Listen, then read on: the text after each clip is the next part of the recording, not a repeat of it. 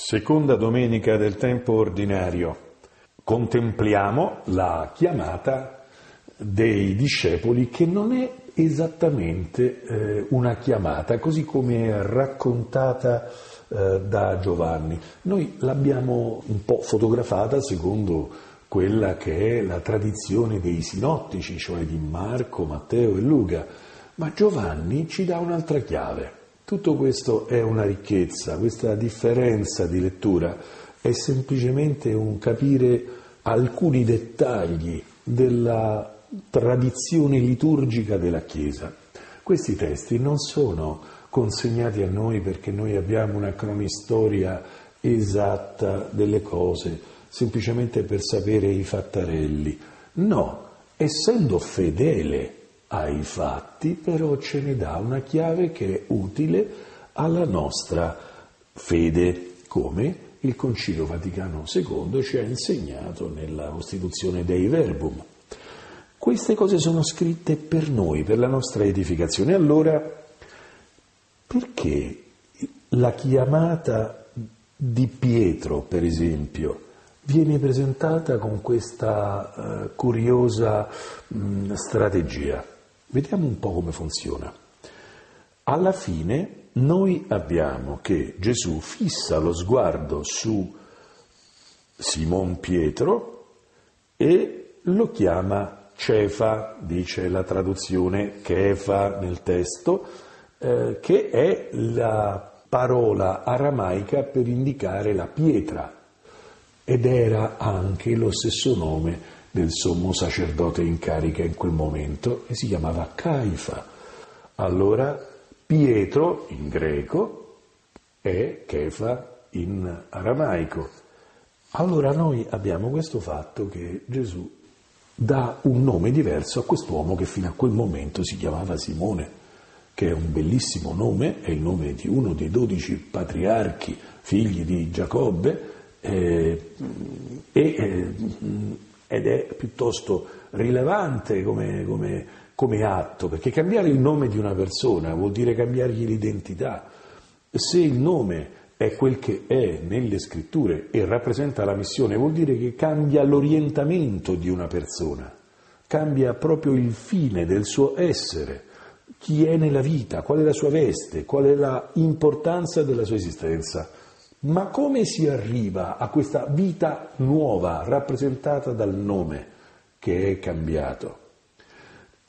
Il profeta Isaia aveva già detto ti si chiamerà con un nome nuovo che la bocca del Signore avrà indicato. Questo fatto che va accadendo anche qua e là nelle scritture e nei Vangeli perché ci indichi questa potenza che ha Dio di cambiare la nostra realtà radicale, originale. La nostra identità però ha una strada. Nel testo che noi leggiamo in questa seconda domenica del tempo ordinario secondo l'anno B, si parte da Giovanni Battista che fissa lo sguardo su Gesù che passa, ovvero sia lo vede, lo guarda ed è interessante che eh, Giovanni sta Gesù passa. Giovanni è un punto nella storia. Gesù continuerà a passare, Gesù continuerà ad essere presente e Gesù per sua natura passa e bisogna seguirlo. Ma Giovanni, che compie il suo ministero circoscritto nella storia come preparazione al momento della rivelazione del Messia, ecco, lo guarda, e lo chiama secondo un emblematico nome, perché qui tutti si danno i nomi, diciamo così, e Giovanni Battista dice ecco l'agnello di Dio. Ma un uomo è un uomo, un agnello è un agnello, c'è una differenza, ma l'agnello di Dio è collegato a un'evocazione pasquale. Per il sangue di un agnello posto sulle porte degli israeliti, l'angelo della morte andrà oltre e quella notte il popolo schiavo diviene libero, perché di fatto questo agnello è stato offerto in sacrificio e il suo sangue ha questo potere, tutto questo è, è terribilmente evocativo. Allora Gesù è l'agnello che verrà offerto e che ci farà fare Pasqua. I suoi discepoli lo sentono parlare così e dicono questo non ce lo perdiamo e vanno dietro di lui. Ed ecco che Gesù dice la sua prima parola nel Vangelo di Giovanni, che cosa cercate? Ecco, questa è una parola che viene rivolta all'uomo, perché ogni uomo si domandi che cosa sta cercando o ancora di più, perché va appresso a Gesù Cristo? Questa è una parola che noi celebriamo nella liturgia. La gente è convocata nella realtà del dono della liturgia eucaristica, ma deve sapere perché sta lì, cosa sta cercando. E i discepoli rispondono eh, con una mh, frase che possiamo prendere, ce ne possiamo impossessarci. Rabbi, che vuol dire maestro, dove ti mori, dove ti fermi, tu passi, ma c'è un luogo in cui si può stare con te? La risposta non è via del Vasaio 5, uh, eh, via di Giacobbe 3, no, la risposta è venite e vedrete, se si vuole stare con Cristo bisogna andargli appresso e essere visitati nei propri sensi, fare una esperienza, non si può capire, non è un'informazione da consegnare astrattamente o come semplice riscontro fattuale, no, è un'esperienza da fare. Loro vanno e il testo dà tutte le coordinate di un'esperienza concreta le 4 del pomeriggio che peraltro coincidevano, erano uh, corrispondenti al momento in cui si stava celebrando l'offerta dell'agnello nel Tempio, per cui continua questo riferimento a questo animale, a questo elemento della liturgia ebraica. Uno dei due è Andrea, il fratello di Simone.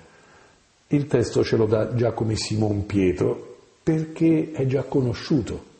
Il lettore, visto che questa cosa qui viene data in questa forma, sa già chi è Andrea e chi è Simon Pietro, ma ci permette di vedere che cosa. Simone arriverà da Gesù perché Andrea ce lo porta. Andrea arriverà a Gesù perché Giovanni Battista glielo indica. Questo ci fa capire perché la Chiesa sceglie la prima lettura, dove c'è Samuele, il grande profeta, che sarà anche giudice del popolo di Israele, che ungerà il re Davide e eh, che avrà due libri intitolati al suo nome, il primo e il secondo libro di Samuele, viene contemplato nella prima lettura nella sua chiamata. Samuele non riesce a intendere la voce del Signore finché Eli, il sacerdote, non gli dà le indicazioni giuste. Così Simone diventa Chefa, Pietro, quando incontra il Signore Gesù che gli rivela la sua verità perché si è fidato di suo fratello e suo fratello può fare questo perché si è fidato di Giovanni Battista come Samuele che è diventato profeta perché si è fidato di Eli. Nessuno di noi può arrivare alla sua verità che è in Cristo se non si fa portare da altri cristiani, da altri uomini e donne di fede. Noi abbiamo bisogno di stare dentro questa meravigliosa catena, che è un'esperienza personale non spiega Andrea a Simone chi è Gesù, lo porta da Gesù e noi forse dobbiamo smettere di parlare tanto e dobbiamo iniziare a portare i fratelli al Signore, portarli lì dove si incontra. Si fiderà qualcuno di noi? Ma di generazione in generazione è così che si passa la fede. Uno è generoso e consegna la propria esperienza, l'altro è aperto e crede alla parola del fratello. È così che arriviamo fino al Signore Gesù e scopriamo come ci chiamiamo veramente.